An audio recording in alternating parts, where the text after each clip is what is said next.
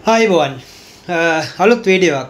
අලුත් වීඩියෝවක් නිකුත් කරන්න හිතුවා uh, මෑතක සිද්ධ වන ප්‍රධානම ග්‍රහමාරුවක් සම්බන්ධයෙන්. ඔබ දන්නවා uh, හෙට අනිතර මෑතකදී තව දින කීපයකින් සිද්ධ වෙනවා අලුත් ග්‍රහමාරුවක් රාහු කේතු මාරුවක්. මේ රාහු කේතු මාරුව රටට ලෝකෙට අදාළ වැදගත් තත්ත්වයන් බොහොමයක් නිරූපණය කර ග්‍රහමාරුවක් මීට කලින් 2004 2005 කාල වකවානුවේත් මේ ආකාරයෙන්ම රාහු මේ විදිහම මේ රාශිවලම ගමන් කරා. දැන් මේ නොවැම්බර් මාසෙන් පස්සේ සිද්ධ වෙනෙත් එවැනිම තත්ත්වයක්. මේ ගැන අප සාමාන්‍ය තොරතුරු කියන්නට කලින් එතන අපි සාමාන්‍ය ග්‍රහ මාරුවක් සම්බන්ධයෙන් පලාපල විග්‍රහන අප ඉදිරිපත් කරන ආකාරයට තරමක් පරිබාහිර වෙනස් ආකාරයේ විග්‍රහයක් තමයි මේ සැරේ අප බල ඉදිරිපත් කරන්න බලාපොරොත්තු වෙන්නේ මා විසින්. මොකද මේකේ තියෙන මේ විෂයේ තියෙන විද්‍යාත්මක වශයෙන්ත් පොඩ්ඩක් පැහැදිලි කරගෙනම යන්න ඕනේ කියලා හිතුණාද සාමාන්‍යයෙන් මම මම සහ ගොඩක් අය කැමතිත් ඇත්තරම මේ තමන්ට මේකේ මොකද්ද වෙන්නේ තමන්ට ඇති ඵල ප්‍රයෝජනේ මොකද්ද කියන එක දැනගනීත් අපේ යුතුයකමක් තියෙනවා. ඉඳලා හිටලා හරි පොඩ්ඩක් මේ විෂයේ ඇති ගැඹුරු බව සහ මේ විෂයේ තියෙන යථාර්ථවාදී බවත් පොඩ්ඩක් පැහැදිලි කරගෙනම යන්න යම් යුතුයකමක් තියෙනවා. මොකද ගොඩක් අතර නීරස වෙනවා මේ ජ්‍යොතිෂ බණ. ජෝෂය බණ ධර්මදේශනා කියන ඒවා දැන් තමයි මම දැන් කියන්න හදන්නේ. මේක ඒව වැඩක් නැහැ ගොඩක් අයට. ඉතින් ඒකින්ද මේ මං ඔබට ආරාධනා කරනවා පොඩ්ඩක් මේ විෂයේ තියෙන ගැඹුරු බව සහ මේ විෂයෙන් තියෙන යම් ඒ යථාර්ථවාදීවත් පොඩ්ඩක් තේරුම් අරගෙනම ඔබ පුළුවන් නම් මේ මේකෙන් වැඩක් ගන්න බලන්න. මොකද මේ එතකොට තමයි හරියටම ඔබට තේරෙන්නේ මේ අපි මේ මේ මේ යම් කිසි රටාවක් යම් කිසි මේ ක්‍රියාදාමයක් මේ ඇතුළත තියෙනවා කියන වගේ. මේ සටහන මේ සටහන හොඳින් බලන්න. මේ සටහනේ මේ මේ දක්වලා තියෙන්නේ අපේ වෛදික ජෝෂයේ වෙදීම්. වෛදික ජෝෂ වෙදීම් තමයි මෙතන මෙතෙන්ට යනකන් තියෙන්නේ. මෙතනින් පස්සේ මේ නැකච්චාරය බෙදීම් මේ මේ උඩ තීරව යන්නේ ක්‍රිෂ්ණමූර්ති බෙදීම් ක්‍රිෂ්ණමූර්ති උපස්ථාන බෙදීම්. මේ සටහන මම මම හැදුවේ මම මොකද අපි මේ විෂය නිර් මේ අපිට අප අපිට ප්‍රත්‍යක්ෂ වෙන විදිහට තේරුම් ගන්න නම් අපිට අදාළ ක්‍රමවේදයකට මේ විෂය හසුරු හදා ගන්න ඉස්සෙල්ලා ඕනම දෙයක්. මේ විෂය නෙමෙයි. ඕනම විෂයක්. ඉගෙන ගන්නවට අමතරව අපි අනිවාර්යෙන් කරන්න ඕන දෙයක් තමයි විෂය හරියට පත්‍යංග වෙන්න නම් Tamante මේ විෂය ධාරණය වෙන්න නම් Tamanට අනුව Tamanට තේරුම් ගන්න පුළුවන් ක්‍රමයකට හදා ගන්න ඕනේ. දැන් ඔය ගණිත ශාස්ත්‍රයේදී ඔය මේ සංකීර්ණ ගණන් හදාගන්න සමහරවිට අපිට ගල් කඩ ටිකක් එහා මෙහා වෙලා වුණත් එහා මෙහා කරලා වුණත් සමහරවිට ඒක තේරුම් ගන්න වෙන්න ඉඩ තියෙනවා. ඉතින් ඒක ලැජ්ජාවට කාරණාවක් නෙමෙයි. ඒ විෂය ගැඹුර තේරුම් ගන්න අපි කරන උපායයක්. ඉතින් මේ විෂය ගැඹුර තේරුම් ගන්නත් මම ඉතින් ওই කාලයක් තිස්සේ කරගෙන ආපු යම්කිසි දෙයක ප්‍රතිඵලයක් තමයි මේ තියෙන්නේ. මේ මේ chart එක මීට කලිනුත් මම මේ නාලිකාව ප්‍රසිද්ධ කරලා තියෙනවා. කොහොම නමුත් මේ chart එක බලනකොට නිකන් පේනවා ඇති දැනට ඔබට නිකන් අර මේ අර අර මේ මොනවද අර ඉලක්කයට අර කූරු වීසි කරන්නේ අර ඒ වගේ එකක් වගේ බැලු බැලමට ඔබට පේනවා ඇත්තේ. ඉතින් මේක එහෙම එකක් නෙමෙයි මේක ඇත්තටම මේ මේ බෙදීම් මේ තමයි ජෝෂ්‍ය බෙදීම්. දැන් මේ මුලින්ම තියෙන මේ රාශි රාශි චක්‍රය, රාශි චක්‍ර රාශි බෙදීම. දැන් මේ දෙවෙනියට තියෙන මේ තියෙන මේ මේ හෝරා හෝරා චක්‍රය. මේ දෙවෙනියට අපිට දැන් යාන්තම් පේනවා ඇති. මේ තියෙන ඊළඟට මේ තියෙන්නේ දෙර්කාන චක්‍රය.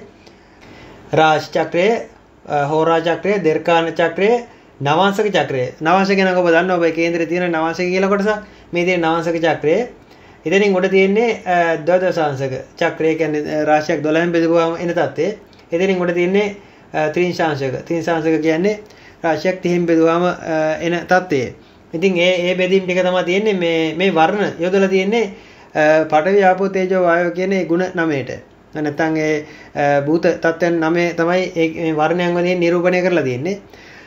පදාර්ථයක් තැල්ලා තියෙන්නේ මේ මේන් ඒ කියන්නේ මේ පඨවි ආපෝ තේජෝ වායෝ කියන මේ භූත තත්ත්වයන් හතරෙන් තමයි පදාර්ථය නිර්මාණය වෙලා තියෙනවා කියලා ජ්‍යොතිෂය පිළිගන්නේ. විද්‍යාව තාම පිළිගන්නේ නැහැ මේක. නවීන විද්‍යාව කවදා හරි දවසක මෙතනින් නවතී. දැන් ඔය තාම ඉලෙක්ට්‍රෝන ප්‍රෝටෝන හොය හොය යනවා. ඉතින් ඔය කවදා හරි කෙලවරකදී අවසානයේදී නවතී මෙතනින්. ඒ කියන්නේ මේ මේ පදාර්ථය තැන්ලා තියෙන්නේ මේ අවසාන විග්‍රහයේදී කඩලා බිඳලා බිඳලා බිඳලා ඉතුරු කරාම අන්තිමට ඔය පට ව්‍යාපෝ තේජෝ වායෝ ඔය හතර තමයි බෙදිලා යන්නේ. ඉතින් එහාට බෙදෙන්න තැනක් නැහැ. ඉතින් මොකද තේජෝ කියන උෂ්ණ ගතිය තව ඉතින් බෙදන්න දෙයක් නැහැ. ඒක උෂ්ණ බෙදුවාම ඉතින් තවත් උෂ්ණම තමයි. ඉතින් ඒ වගේ ජල තත්ත්ව බෙදුවාම ජලම තමයි. දියරමේ ගතිය. ඒ වගේ දැන් මේ රතු පාටින් තියෙන්නේ මේ රාශි චක්‍රය ඔබ දන්නවා මේ ඔබට පේනවා ඇති යාන්තම් මේෂ වෘෂභ මිථුන කටක සිංහ කන්‍ය තුලා වෘච්චික ධනු මකර කුම්භ මීන මේ විදිහට තමයි මේ රාශි චක්‍රය තියෙන්නේ මේ අපි දැන් පෘථිවිය මැද්ද කියලා ගත්තොත් පෘථිවිය වටේ තියෙන මේ රාශි වලල්ල මේ විදිහට තියෙනවා කියලා නිකන් උපකල්පනය කරා නම් හරි. දැන් ওই තරු රට අණුව තරු රට අණුව මේ බෙදීමක් තියෙනවා දැන් මේ තරු රට සහ මේ මේවා පටල ගන්න එපා මොකද ශක්ති කලාප ගැන තමයි මේ විෂයේදී උගන්වන්නේ. තරු රටාව හින්දා එළුව හම්බුණා නෙමෙයි අර ගොනාගේ වගේ මෙහෙම වී අකුර තියෙන හින්දා තරු රටාවේ මේ මේ ගොනා කියන සලකුණ ඇත්තම දුන්නා නෙමෙයි. ඒකට අදාළ ජ්‍යොතිෂයේ තියෙන වෙනම කියම එක තාරක විද්‍යාව සහ ජ්‍යොතිෂ ශාස්ත්‍රය පටල ගන්න එපා. මේ විෂය මේ ජ්‍යොතිෂ කියන විෂය බොහෝ දුරට Tamanට පමණක් ඒ ප්‍රත්‍යක්ෂ වෙන තත්ත්වයක් තමන්ගේ අවබෝධය මත අවබෝධ කරගන්න පුළුවන් තත්ත්වයක්. මේවට මේ විද්‍යාත්මක නියමයක් මම හිතන්නේ හදන්න පුළුවන් වෙයි කියලා. අර ඒකාකාර එක නියමයක් නැති වුනහම ඕක ඊට පස්සේ අර විද්‍යාත්මක කියන තලයෙන් අපිට ඔප්පු කරන්න බෑ. මොකද හැමෝටම පිළිගන්න පුළුවන් නියමයක් මේකට හදන්න අමාරුයි මේ මොකද මේක අවබෝධයේ මත සහ එක එක්කෙනාගේ ප්‍රඥාව මත අවබෝධ වෙන විෂයක් නිසා.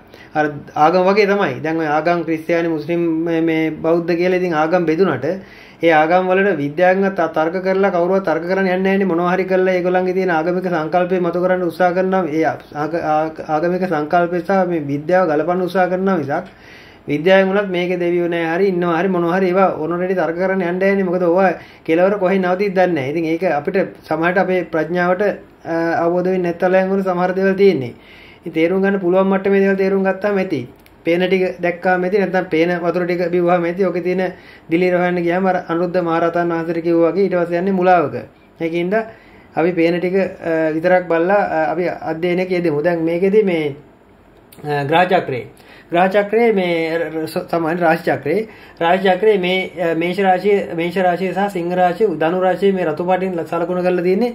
ඒ රාශින් හතර ජල මේ මේ තේජෝ රාශින් තේජෝ කියන්නේ ගිනි රාශින් ඊළඟට මේ කොළ පාටින් සටහන් කරලා තියෙන්නේ වෘෂභ කන්‍යා මකර කියන රාශින් පඨවි රාශින් තද ගතිය තියෙන්නේ. ඊළඟට මිථුන රාශිය මිථුන තුලා කුම්භ රාශිය වායෝ රාශින් ඊළඟට නිල් පාටින් තියෙන්නේ කටක වෘශ්චික මීන කියන රාශින් ඒ රාශින් ජල රාශින් එතකොට ඒ ඒ රාශින් වල ඒ තියෙන ගුණේ වැඩි. ඒ තියෙන ගුණේ තරමක් වැඩිපුර සක්‍රියයි ක්‍රියාත්මකයි. ඉතින් ඒක ඇතුළත තව තියෙනවා හැබැයි. ඒ ගුණේ විතරක් නෙමෙයි. ඒක හොඳට මතක තියාගන්න. ඒකේ තව ඊළඟට යනවා මේ හෝරා කියලා මේ හෝරා චක්‍රය කියලා තව චක්‍රයක්. හෝරා චක්‍රයේදී මේ මේෂ රාශිය බෙදෙනවා. මේ ගිනි සහ ජල වශයෙන් කොටස් දෙකකට බෙදෙනවා. හෝරා චක්‍රයේදී. ඊළඟට දෙර්කාණේදී ගිනි ජල දෙක ඔක්කොම අයින් වෙලා ඒකේදී රජස් තමස් සත්ත්ව කියන ඔය කොටස් තුන වෙනම අර ගුණාංග සම්බන්ධිත තත්ත්වය තමයි එහිදී නිරූපණය වෙන්නේ. මේවා ගැන හොඳ විග්‍රහයක් තියෙනවා අපේ කේසිජ් රත්නායක මහත්තයා අපේ හිත මිත්‍ර කේසි රත්නායක මහත්තයා ලියපු පොත්පත් කීපයක්ම තියෙනවා මේ චක්‍ර ගැන විග්‍රහ කරපු ඒ ටොලොමියානු ජෝතිෂය ගැන එතුමා බොහොම ගැඹුරු විග්‍රහයක් කරලා තියෙනවා මේ මේ ඒ ජෝතිෂයේ ගැඹුරු තත්ත්වයන් අවබෝධ කරගෙන ඒ එතුමාගේ පොඩ්ඩක් පොත්පත් පරිශීලනය කරා නම් මේවා තියෙන මේ චක්‍රවල තියෙන විද්‍යාත්මක தත්ත්වය තවත් හොඳට පැහැදිලි කරගත්ත හැකි. ඊළඟට මෙතනින් නවතින්නේ නැහැ. දැන් හෝරාව ගිනි සහ ජල ගතිය විතරයි හෝරාවේ තියෙන්නේ. මේ ගිනි ජල ජල ගිනි ගිනි ජල ජල ගිනි. ඒ වගේ තමයි මේ බෙදීම තියෙන්නේ. ඊළඟට යනවා නවාංශිකයට. දැන් මෙතන අපි දෙර්කාණි දෙර්කාණි වෙනම පැත්තක් රජස්තම සත්ව කියන ඒ ගුණාංග සම්බන්ධයෙන් ඇති වෙන තත්ත්වයක්. ඒකට අර එතන ඇවිල්ලා අර මේ භූත තත්ත්වෙන් අදාළ වෙන්නේ නැහැ. ඒක වෙනම මේ මේ අර මේ මේ හිසිතීල වල හට ගන්නා වූ යම් ශක්තියින් ස්වරූපයකට තමයි තුන්වැන්නෙන් තුන් මේ තුන්වන කොටසට අදාළ වෙයි දෙර්කානේ. බෙදලා වෙන් කරලා තියෙන්නේ. ඔබ දන්න අර 22 වෙනි දෙර්කාන අධිපති හැට් මේ ඒ සම්බන්ධයෙන් එහෙම වැඩිපුර කතා කරන්නේ ඒකින්ද. ඊළඟට මේ නවාංශකේ අර මේ මේ පේනවා ඔබ දැන් සම්පූර්ණ මේෂ රාශිය රතු පාටයි. ඒ කියන්නේ ජල මේ තේජෝ රාශියක්. මේෂ රාශිය තේජෝ වුණා කියලා සම්පූර්ණ සම්පූර්ණ රාශි චක්‍රයේම තේජ වෙන්නේ නැහැ. මේකේ දැන් තියෙන තව බෙදීම්. ඊළඟට මේ තියෙන්නේ නවාංශකේ. නවාංශකේ මේ අර වගේ කොටස් 9 නවාංශකේ කියන්නේ රාශියෙන් කොටස් 9ක්. කොටස් 9කට බෙදලා රාශිය. ඒක මේ මේ නවාංශකේ නවාංශකේ මේෂ වෘෂභ මේෂ රාශියෙන් පටන් ගන්න මේෂ වෘෂභ මිථුන කටක සිංකන තුලා උච්චක ධනු කියලා ධනුවෙන් ඉවර වෙනවා. ඊළඟට මකරෙන් තමයි වෘෂභ පටන් ගන්නෙ. ඊළඟට තුලාවෙන් මිථුන මිථුන රාශිය පටන් ගන්නවා. කටකයෙන් මේ කටක රාශිය පටන් ගන්නවා. ඔහොම තමයි ඊට පස්සේ සම්පූර්ණයෙන් කටක රාශියේදී නවාංශකේ ඉවර වෙනවා මේ මීනෙන්. එහෙම තමයි නවාංශකේ අර කොටස් 9කට බෙදලා යන්නේ. ඒකත් අර වගේම ඒ ඒ බෙදෙන කොටස් 9. අර වගේම ගිනි ගතිය, තද ගතිය, පඨවි ගතිය මේ මේ වායු ගතිය සහ ජල ගතිය. තේජෝ, පඨවි, වායෝ, ආපෝ තේජෝ පටි වායෝ ආපෝ තේජෝ පටි වායෝ ආපෝ ඔය කියන චක්‍රයට අනුව තමයි ඒ නවාංශකේ තයි බෙදෙන්නේ උපකොටස් වලට. ඊළඟට ආයි තව එහාට එනවා දවසාංශකේ දවසාංශකේ කියන්නේ රාශිය කොටස් 12කට බෙදලා. නවාංශකේ කියන්නේ කොටස් හෝරාව කියන්නේ කොටස් දෙකයි දෙරකාණි කියන්නේ කොටස් තුනයි. ඊළඟට නවාංශකේ කියන්නේ කොටස් 9යි දෙරකාණි දවසාංශකේ කියන්නේ කොටස් සම්පූර්ණයෙන් 12කට බෙදලා. එතකොට එතන ඒ දවසාංශකෙත් අර වගේම ආයි උපකොටස් වලට බෙදෙනවා. ආයි ඒක ඇතුළතේ අභ්‍යන්තරික කොටස් වලට ආයි ආපෝ තේජෝ වායු කීක ඔය බෙදෙනවා. ඊළඟට යනවා මේ ත්‍රිං සංසයකට. මෙන්න ත්‍රිං සංසයක තමයි ඉතාලම වැදගත් වෙන්නේ. තිරිසංශකයේදී අලුත් කොටසක් එකතු වෙනවා. ආකාශ කියලා භූතයක්. මෙන්න මේ ආකාශ භූතය තමයි අපේ තථාගතයන් වහන්සේ මේ දේශනා කරන මේ භූතය. ඒ කියන්නේ ඉරිෂවරු දේශනා කරන්නේ මේ ආපෝ තේජෝ වායෝ කියන මේ මේ මේ මට්ටමේට විතරයි ඉරිෂවරු බොහෝ දුරට ඉරිෂවරු කියන්නේ මේ යම් ඉරිෂවරු කියන එකට වැඩිය අපි නිකන් අවබෝධයක් ලත්තා කියන හිතමුකෝ. ඒ අය යම්කිසි මේ මේ මේ මූල මූල ධාතුව කොටස් හතරකින් විතරයි ඒ අය විග්‍රහ කරන්නේ. හැබැයි මේ ඒ අයගේ වුණත් අර මේ තින්සාංශකයේ බෙදෙන මේ තින්සාංශකයේදී මේ මූලික කොටස් වලට මේ එන්නේ නැහැ මේ රාශි කොටස් වලට අර ආකාශ කියන භූතය එන්නේ නැහැ. හැබැයි තින්සාංශකයේදී ආකාශ භූතයක් මේ කහ පාටින් තියෙන එක. ආකාශ භූතයක් කියලා එකතු වෙනවා. ගිනි ගතිය, වායෝ ගතිය, ආකාශ ගතිය, මේ පඨවි ගතිය සහ නිල් පාටි කියන ජල ගතිය. ඒ වගේ ඊළඟට ආකාශ භූතය. දැන් ඔතන ඔය ඊළඟ ඒ දැන් තින්සාංශකයේදී ඒ වගේ උපකොටස කරත් වෙන් වෙනවා. ඉතින් මේවා බොහොම ගැඹුරින් කතා කරන්න ඕන දේවල්, දීර්ඝ වේලාවක් කතා කරන්න ඕන දේවල්. ඉතින් මේ ගැන කතා කරන්න නෙමෙයි මම නිකන් මේ ඔබට මේ chart එක ගත්තේ.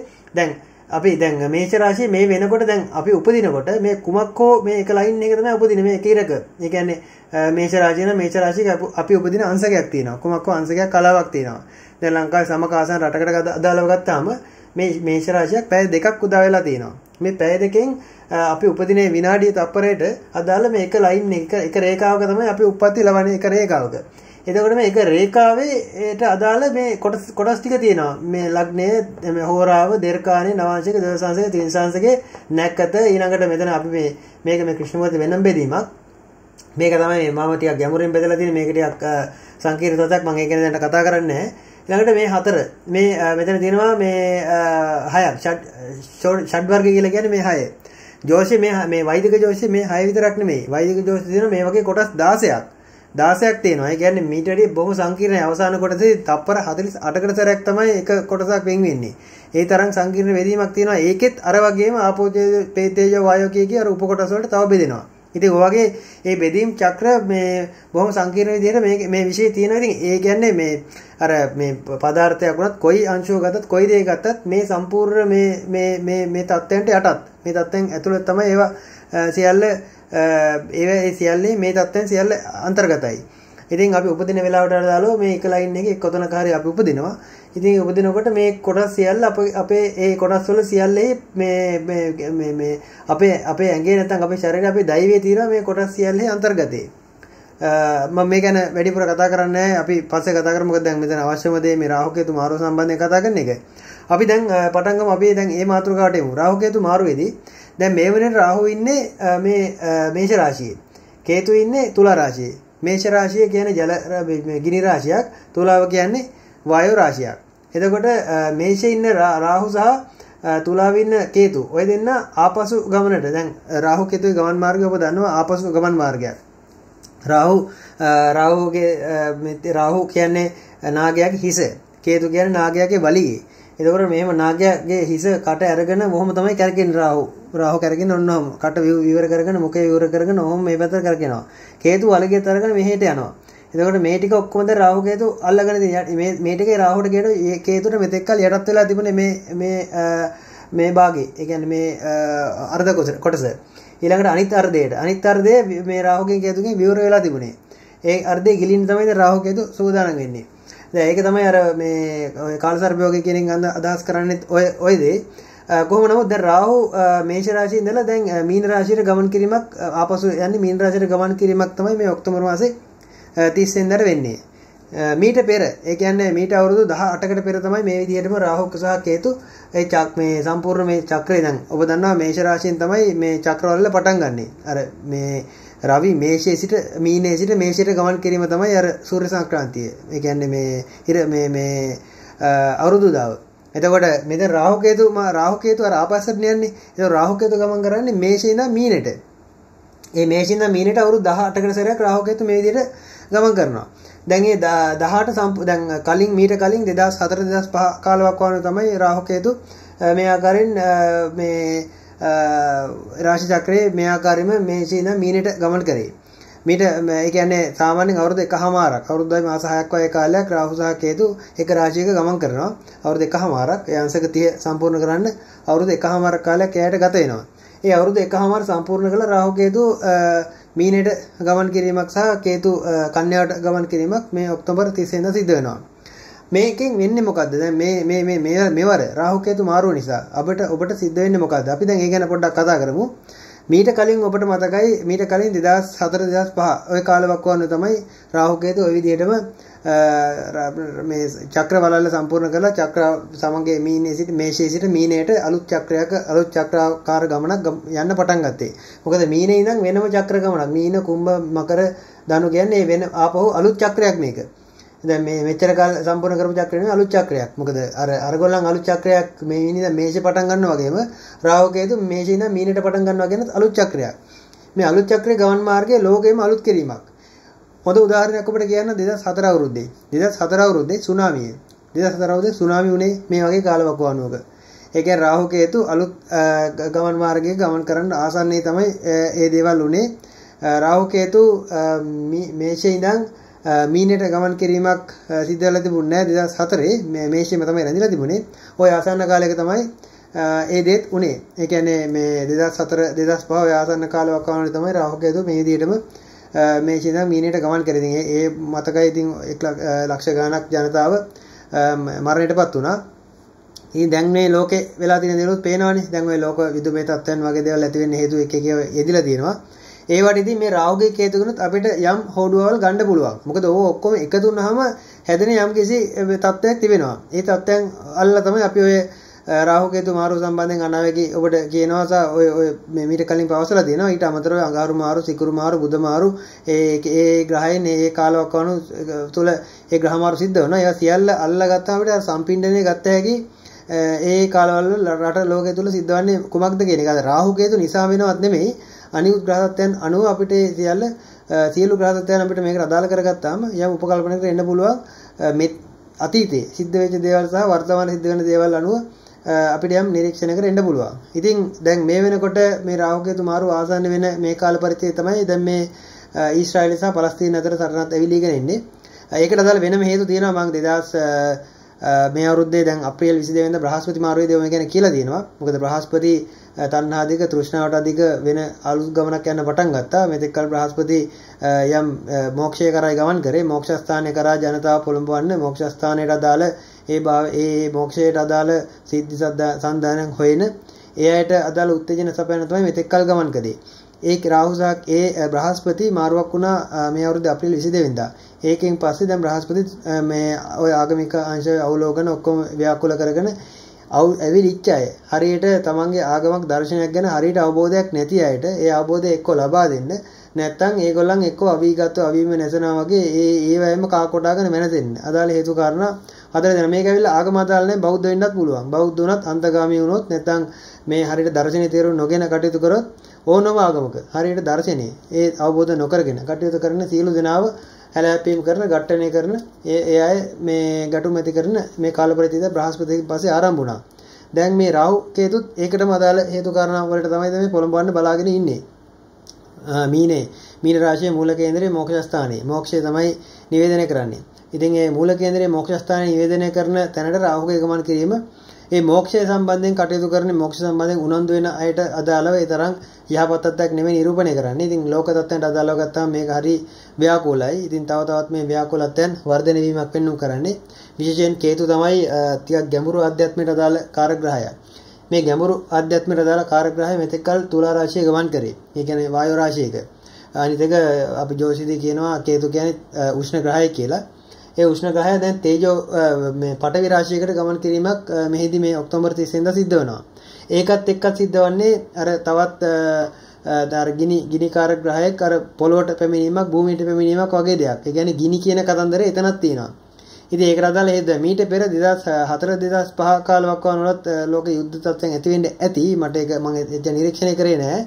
ඒ කොහොම වුණත් ඒ කාලේ අර අනිකුත් ග්‍රහ පීඨීම් වල ඊතරම් ලොකු සම්බන්ධයක් තිබුණ නැති ඉඳ මේ තරම් දරුණු තත්ත්වයක් නොවෙන්නේ නැති හැබැයි මේ වෙනකොට සෙනසුරු බ්‍රහස්පති අනිකුත් සීල ග්‍රහ තත්ත්වයන් මේ මිනිසුන්ගේ අර ආකල්ප මේ මරාගෙන මැරෙන තව මේ ලේ පෙන්න ලේ ලේ සම්බන්ධයෙන් මේ හැඟීම් ඇති කරන අර හැඟීම් යටපත් කරන ආකල්ප මතු කරන විදිහට තමයි මුණ ගැහිලා ඒ කට්ටිය සංයෝග වෙලා තියෙන්නේ. ඉතින් ඒ ඒ හරහා අපිට එතකොට පාදා ගන්න පුළුවන් මේ මිනිසුන්ගේ හැඟීම්. කොහොම නමුත් අතිශය බාධාකාරී සහ විශේෂයෙන් ලෝකෙට දාලා ගත්තාම නම් මේ රාහු කේතු මාරුව බොහෝ දුරට රැවටිලි අධික වෙන මිනිස්සු නිකන් අර උමුතු ලීලාවෙන් කටයුතු කරන අර මේ ධර්මයක් කෙරේ යම් ආගමක් කෙරේ ඇදහිීමක් තිබුණා නම් ඒ ඇදහිීම් පවා තමන් විසින්ම නැති කරගන්න ඒ වගේ ස්වරූපයක ගමන් කිරීමක් තියෙන්නේ. ඉතින් මේක ඉතින් අපිට පාලනය කරන්න පුළුවන් දෙයක් නෙවෙයි කොහොමද මේ ග්‍රහචාරය අනුව පෙන්වනවා කියලා කියන්නේ ලෝක තත්ත්වයන් අනුව මේවා වෙන්න තියෙන දේවල්. ඉතින් නිකන් රණ්ඩු ඇති කරන තේරුමක් නැහැ. හැකිතාක් උත්සාහ කරන්න එකිනෙකාට තමන්ගේ ආසන්න ළඟ ඉන්න අයට මෛත්‍රී කරන්න වෛර කරගන්න නැතුව රණ්ඩු කරගන්න නැතුව තමන් ළඟ ඉන්න මනුස්සයත් එක්ක සතුටින් ඉන්න උත්සාහ කරන්න. ඉතින් එතකොට ලෝක සාමය නිකම් උදා වෙනවා. ආසන්න අයට ඔය යේසුස් වහන්සේත් කියන්නේ ඒකනේ තමන්ගේ මේ සියලු දෙනාට ප්‍රේම කරන්න කියලා. ඒකත් අර මෛත්‍රියම තමයි. ඒ වගේ ඉතින් ඒ උත්සාහ කරන මොකද දැන් මේ රාහු කේතු මාරුවෙන් තවත් අර தත්ත්ව විකෘතිමක් සහ ව්‍යාකූලීමක් පෙන්වුම් කරන්නේ. මෙහිදී මෙහෙමයි බුද්ධිමතුන්ට මේක හොඳයි. බුද්ධිමතුන්ගේ බුද්ධිය වර්ධනය විශේෂයෙන්ම තාක්ෂණික පැත්තට දාලා ලෝකේ විශාල හොඳ ගමන් මාර්ගයකට යන්න තියෙනවා ඉස්සරහට. ඒවට ගොඩාක් හොඳයි. ඔය තාක්ෂණ විෂයන් හදාරන්නට ගොඩාක් හොඳයි. තවදුරටත් ඔබට මම යෝජනා කරනවා එවැනි විෂයන්ට යන්න කියලා. අර මන්දගාමීව හිමින් සිරුවේ. තමන්ගේ අධ්‍යාපන කටයුතු කරගෙන ආපු අයගේ දැනුම වර්ධනය වෙන කාලයක්. තව ඒක ඒ කට්ටියට අලුත් අලුත් දේවල් විමර්ශනය කරන්න පුළුවන් කාලයක් විශේෂයෙන් මේ කන්‍යා රාශියට කේතුගේ ගමන් කිරීම විශේෂයෙන් මේ විශේෂයෙන් ඔය නව තාක්ෂණ දැන් අලුතෙන් ඔය AI කියන තාක්ෂණ මේ කෘත්‍රිම බුද්ධිය වගේ ඒ සාධක සහ ඉතින් එහා ගිය තවත් ඔය තාක්ෂණයේ දේවල් වල මහා ඉහළ මට්ටමකට යන්න තියෙනවා. ඒවැන් ඉතින් අර Tamanට විනාශයක් ඇති කරගන්නේ නැතුව යම් සීමාවකට යටත් වෙලා කොයි දේ වුණත් මොකද හැම වෙලෙම මනසේ යම් හිඩසක් තියාගන්න ඕනේ Tamanගේ ආධ්‍යාත්මය අවදි කරගන්න. නැත්තම් හැම වෙලෙම මොකක් හරි එකම අධ්‍යාපනය වේවා මුදල් වේවා රැකී ආරක්ෂා වේවා පවුල වේවා හැම දෙයකදීම අර 100%ක්ම තමන්ගේ මොලේ මනස ඒ සම්පූර්ණ කාරණාවට යෙදෙවොත් ආධ්‍යාත්මයට ඉඩක් නැති වෙයි. ඒ වුණොත් ඔබට මානසික සුවයක් කියන්නේ කවදාවත් නැති වෙයි. ડિප්‍රෙෂන් තමයි අන්තිමට ඉතුරු වෙන්නේ. ඒකින්ද ඒ සුවයටත් අදාළ කාරණා තියාගන්න. තියාගන්න අතරේ ඔබගේ ගමන මාර්ගය යන්න මේ රාහු කේතු මාරු විශේෂයෙන් මූල කේන්ද්‍රයේදී 12 වෙනිට සහ 6 වෙනිට මාරු වීමක් සිද්ධ වන්නේ. ලෙඩ රෝග පැතිරීමක් නැවත විය හැකි. ඒ ගැන මතක් කළ යුතුයි. විශේෂයෙන් මේ කන්‍යා රාශියේ නැත්නම් 6 වෙනි කේතු ගමන් කිරීම ඒ සම්බන්ධ යම් නිවේදනයක් නිකුත් කරනවා. බොහෝ දුරට ආහාර මාර්ගය ආසිත උදර ආසිත ආබාධ හෝ කුමක් තරමක යට ගියේ නැත්නම් කාලයක් පුරා යට ගිහිල්ලා තිබුණු ලෙඩ රෝග නැවත මතුවීමක් වගේ දෙයක් සිද්ධ වන්නේ ඉඩ තිබෙනවා. අවුරුදු එකහමාරක් රාහු කේතු මේ ආකාරයෙන් මේ තුලාවේ සහ කන්‍යාවේ සහ මීන රාශියේ ගමන් කරනවා. මේ දින අවුරුදු එකහමාරක්. ඒ කියන්නේ ලබන 25 අවුරුද්දේ මාර්තු 25 අවුරුද්දේ මැයි ජූනි ඉතර වගේ වෙනකම් මේ සම්පූර්ණ කාල පරිච්ඡේදය යනවා. ඒවල ඒ අතර කාලයක් වනේ ලෙඩ රෝග පැතිරෙන ඒවා සහ ඔය ඔය සුනාමි වගේ තමයි ඉතින් දැන් ඔය ලෝක විනාශේ මරා ගන්න හදන්නේ. දැන් ඕක කොහෙන් නවතිද දන්නේ ඉතින් ඔය වගේ දේවල් තව තවත් සැරින් සැරේ මතුවෙන්න ඉඩ තියෙනවා. ඉතින් ලංකාවට අදාළව ගත්තාමත් ලංකාවේ කේන්දරේ වෙන්නේ කුම්භ රාශිය. ලංකාවේ දැන් මේ නෝර ගත කරන මහදශාවත් රාහුගේ දශාව. ලංකාවේ ආර්ථිකයට මේ රාහු මාරුව හොඳයි. ඒක මුලින් මතක් කරන්න ඕනේ. රාහු මාරුව සුබ තත්ත්වයක් උදා කරන්නේ මේ ගැන මම කියලා තියෙනවා මේ 24 අවුරුදු අප්‍රේල් මාසයෙන් වගේ පස්සේ රටේ ආර්ථිකයට අදාළ සුබ තත්ත්වයන් බොහොමයක් තියෙනවා කියලා. ඒවට කාරණා හිමිසිර හැදෙයි. ඒවදින් ශනික වෙන දේවල් නෙමෙයි කොහොමත් ලංකාව දැන් ගත කරන්නේ රාහුගේ දශාව. ඒකින්ද ලංකාවට මේ ගත කරන කාලයක් ඕන පිරිස් ඉදස් කතීම් ආදී නැත්නම් රට හැරයම් ආදී දේවල් වලට අදාළ ඒ පෙළවීම ඇති කරන්නේ රාහු විසින්ම තමයි. දැන් මේ රාහු මාරුවත් එක්ක බොහෝ දුරට අර රට සම්බන්ධයෙන් කලකිරීම ඇති වුණ අයට යම් සුවාදී ආකල්පයක් රට සම්බන්ධයෙන් ඇති වෙන්න තියෙනවා. ඉතින් ඒවත් හොඳයි. දේශපාලන ශාස්ත්‍රය ගැන කතා කරන්නේ මොකද ඒවට මගේ වෙලා හොඳ නෑ ඒකයි. ඒකෙන් ඒවා අහන්නත් එපා. ගොඩාක් දුරට මේ මිනිස්සුන්ට හොඳ ජනතාවගේ අතට කීයක් හරි හම්බෙන ගතියක් පෙන්වු කරනවා. මම්මුලා වෙන අය ප්‍රවේශ වෙනවා මොකද ගොඩාක් රැවටිලිකාරු වැඩි වෙනවා රටේ ඉස්සරහට ලංකාවේ. බොරුකාරයෝ වංචනිකයෝ රැවටිලිකාරු වැඩි වෙනවා. තවත් ඔබ මම්මුලායි දාන්න ඉඩ තියෙනවා. අන්න එවැනි තත්ත්වයන්ගෙන් විශේෂයෙන් ප්‍රවේශ වන්න සමස්තයක් ලෙස ලබන අවුරුද්දේ ජුනි ජූලි ඉතර දක්වා කාලයක් වනවා. ජුනි ජූලි මාස වලින් පසු කාලයේ යම් සාධනීය තත්ත්වයක් සහ විශේෂයෙන් ආධ්‍යාත්මික පැත්තට ආගමික පැත්තට එහෙම වැඩි නැඹුරුවක් දක්වන්න ඉඩ තියෙනවා. මොකද බ්‍රහස්පති මාරුවක ජුනි මාසෙන් පස්සේ සිද්ධ වෙනවා. ඒ වගේ ඒ මාරුවල සිද්ධ වෙන තත්ත්වයන් ගැන මම ඒ කාලේ කියන්නම්. සමස්තයක් ලෙස මේ රාහු කේතු මාරුව අපේ රටට අදාළව ගත්තාම දැන් රටේ කේන්දරේ දෙවැන්නට සහ අටවැන්නට තමයි මේ රාහු කේතු මාරුව සිද්ධ වෙන්නේ. දෙවැන්නට සහ අටවැන්නට මාරු වීමත් ඔය මුදල් මේ මූල්‍ය පැත්තට දාලව යම් සාධනයක් ඇති. කතිකාවත දෙන ගතියක්. ඒ රාහු මාරුවෙන් සිද්ධ වෙන්නේ කතිකාවතක්. කතාබහක් කියදෙනවා. කතාබහක් කියදෙනවා කියන්නේ ඒ සම්බන්ධයෙන් යම් විධිමත් තීන්දුව తీරන ගැනීම වගේ දේවල් සිද්ධ වෙන්නේ ඉති වෙනවා. විශේෂයෙන් මේ කේතු 8 වෙනි යන තත්ත්වේ නම් රටට අදාළව තරමක සැලකිය යුතු තත්ත්වයක් අනිවාර්යෙන් පිරිස ඔය ආගම දහමට අදාළ වැඩි නැඹුරුවක් දක්වන්න ඕනේ. මොකද නැත්තම් ඕවා හින්දා අර ප්‍රතිපත්තිකරක ඉන්න අය වැඩිපුර තව ප්‍රතිපත්තිකරක වෙන්න ඕනේ කාලයක් නැත්තම් ඔය අපි ඔය කියන গুপ্ত දෝෂ, අදෘශ්‍යමාන දෝෂ, භූත දෝෂ ඔය වගේ දේවල් පවා සක්‍රිය වෙන්න තියෙනවා. දැන් ඔය මෑත කතා බහක් කරනවා රාවණ ආපහු නැගිටිනවා කියලා. ඉතින් ඒවත් කතා බහත් ඇති වෙන්නේ මම හිතන්නේ මේ රාහු කේතු මාරුව නිසා වෙන්න ඇති. මිනිසුන්ට ඒ වගේ සිතුවිලි පහළ වෙන්නේ. එතන සිතුවිලි පහළ වීම අවශ්‍ය වෙන්නේ මේ අපිට අදාළ වෙන්නේ. ඒ වෙන්නේත් ඒවා හින්දා වෙන්න ඇති මම දන්නේ රාව ඉතින් මේ මේ මේ මේ රාවණ නැගිනවද කියලා මම දන්නේ නැහැ. හැබැයි මේ গুপ্ত මේ පැත්තට අදාළේ සාධක සක්‍රිය වීමක් අනිවාර්යෙන් සිද්ධ වෙනවා. ඒවා ඉතින් යහපත් පැත්තට සක්‍රිය වෙන්න නම් මිනිසුන් යහපත් වෙන්න ඕනේ. නැත්නම් ඉතින් මිනිස්සු යහපත් වුණොත් අයහපත් පැත්තට තමයි සක්‍රිය වෙන්නේ. එතකොට ඉතින් යක්කු භූතය තමයි සක්‍රිය වෙලා මිනිසුන්ට මේ එතකොට බාධා ඇති කරන පැත්ත තමයි තියෙන්නේ. බහුතරයක් ජනතාව අනිකා ගැන හිතලා මෛත්‍රී කරලා තරමක තමන් ලෝකයා කෙරෙහි යම් අනුකම්පාසහගතව විශේෂයෙන් බුද්ධ දේශනා අනුව ඒ කියලා තියෙන දේවල් අනුව කටයුතු කරන්න උත්සාහ කළොත් අනිවාර්යෙන් දේව ආකර්ෂණය තමයි එතකොට ලැබෙන්නේ. එතකොට ඒ গুপ্ত කියන සාධකයේ දෙවියන්ගේ පැත්තට වර වෙන්නේ. දෙවියෝ එතකොට අපි බිම් බලාපොරොත්තු වෙන දෙවිවරු අපේ ගාවට සමීප වෙයි. එහෙම නොවුනොත් ඉතින් අපසරණයි. ඉතින් ඒක මතක තියාගන්න ඉන්නේ ඉතින් අපි හැමෝම ධාර්මික වෙලා හැකිතාක් ආධ්‍යාත්මික පැත්තට බර වෙලා ඉතින් මේ විෂයන් වලින් පෙන්වන ඒ කාරණා මේ ගැඹුරු කියවීම් තියෙන ඉතින් ඒ ඒ කාරණා සම්බන්ධව හරියට අවබෝධ කරගෙන හරියට මේ මේ ශාස්ත්‍රය ගැනත් සහ මේ ශාස්ත්‍රයෙන් රටට ලෝකෙටත් වැඩක් කරගත හැකි බවත් අවබෝධ කරගෙන මේ කියන පණිවිඩත් ඔලුවට අරගෙන කටයුතු කරමු. ලෝකෙ හදන්න යන්න අවශ්‍ය නැහැ. තමන් හැදෙන්න අවශ්‍යයි සහ විශේෂයෙන් තමන්ගේ සමීපතවයන් ගැන බලා ගන්න. තමන්ගේ ළඟ ඉන්න අය ගැන. ඉතින් එතකොට ඕක චක්‍රයක් විදිහට අර පිරමීඩ් යන්නේ පිරමීඩ් කතන්දරයෙන් පෞගේ කාලේ ඔය මේ රට පුරා එක මාසයක් ඇතුළත රට පුරාම පැතිරුණේ ඔය පිරමීඩ් එකක් වගේ මේ මෛත්‍රිය කරුණාව කියන ඒවා පතුරවන්න පුළුවන්. තමන්ගේ ළඟ අයට ඔය ඊර්ෂ්‍යා නොකර ඉන්න එච්චරයි. වෙන මොකුත් ඕනේ නැහැ. ඊර්ෂ්‍යා වෛර ක්‍රෝධ නොකර ඉන්න තමන් ළඟ ඉන්න කෙනාට. ඊට පස්සේ ලෝකෙම නිකම්ම යයි ඔක පැතිරෙයි. ලෝකෙ පුරා. ඊට පස්සේ ඉතින් මේ ආයි අමුතුවෙන් ඔබට මේ ලෝකේ හදන්න ඕනේ නැහැ. ඉතින් තමන්ගේ ලෝකේ හදාගත්තාම තමන්ගේ අවට පිරිසුදු කරගත්තාම හැමෝම මේ වගේ තමන්ගේ අවට මිදුල් ටික පිරිසුදු කරගත්තාම ඉතින් රටම පිරිසුදුයි. ඉතින් ඔච්චරයි මහ ලොකු දෙයක් නැහැ උතන. ඉතින් ඊට පස්සේ රටේ කොහොමද දුර්ජන පාලක ඉන්නවනම් ඒගොල්ලෝ නිකම් වීසි වෙයි. නරක පාලක ඉන්නවනම් ඒගොල්ලෝ නිකම්ම එළියට වීසි වෙයි. හොඳ පිරිස් දේශපාලනට එකතු වෙයි. ඉතින් මිනිස්සුන්ගේ අපේ මේ ජනතාවගේ හිත හදාගන්න නැතුව තමන් තම තමන්ගේ හිත හදාගන්න නැතුව ලෝකෙන හදන එක කරන්න බෑ. ඉතින් ඒක නිකන් තේරුමක් නැති වැඩක්. ඕවට සාපතීතිය තමම පත්තර පාලගෙන තමම සාපතීතිය. ඉතින් කවදාවත් ගොඩ යමුකුත් නැහැ. ඉතින් අසලසෙට තමන්ගේ කෙනාට ළඟ කෙනාට උදව් කරන්න, උපකාර කරන්න, හැකිතා කයට නැගිනින නැගිනින උදව් කරන්න. ඔය සමගී සාවධානයේ සහයෝගය තියාගන්න. අතීතෙත් එහෙමනේ කරේ. මිනිසුන්ට උදව් උපකාර කරගත්තනේ. තම තමන් හැදෙනකොට තමන්ගේ චක්‍රය ඕරායක පිරිසිදු වෙනවා. මගේ ඕරායක පිරිසිදු වෙනකොට ඊළඟ කෙනාගේ තෝරායක පිරිසිදු වෙනකොට අනිත් කෙනාගේ තෝරායක පිරිසිදු වෙනකොට ඕක අර මේ අර DNA අණුවක් වගේ DNA අණුවක් වගේ ඕක මේ සම්පූර්ණ මේ රටම ආවරණය වෙන විදිහට ලොකු චක්‍රයක් හැදෙන ඔය මේ අර ඊශ්‍රායලයේ අර මෑතකදී අර ගුවන් මේ ප්‍රහාර වලින් බේරෙන්න හදපු අර මොකද්ද අයන් රෝම් කියලා හැදුවේ ක්‍රමයක්. ඉතින් ඒ විදිහේ ක්‍රමයක් අපිට ආධ්‍යාත්මිකව හදාගන්න පුළුවන් ඒතරම් අපිට එක එකනට පුද්ගලිකව. ඉතින් ඔය ඔය මොක මොන එකක්වත් ඕනේ නැහැ එතකොට. ඔය මිසයිල් වදින්නෙත් නැහැ මුකුත් නැහැ.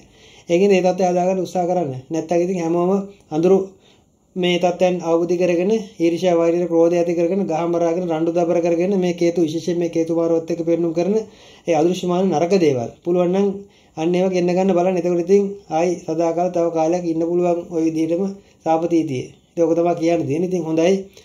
ඉතින් නාලිකා මගේ නාලිකාව එකතු වෙච්ච ඔබ සැමට ස්තුතියි. අප මෙතනින් පස්සේ බලමු මේ රාහු කේතු මාරු සම්බන්ධයෙන් රටට ලෝකෙට ඇති වෙන තත්ත්වයන් ගැන අපි දැන් පැවසුවා. ලග්න පලාපල තත්ත්වය කෙසේ දැන් අපි දැන් මෙතෙන් පටන් විමර්ශනය කර බලමු. බොහොම ස්තුතියි. එහෙනම් අපි එකතු වෙමු ඒ තත්ත්වයට සමග. ආයිබෝල්. ජෝතිෂ විෂය යථාර්ථයෙන් දැනගන්න. අපගේ නාලිකා සියල්ල හා එකතු වන්න සබස්ක්‍රයිබ් කරන්න.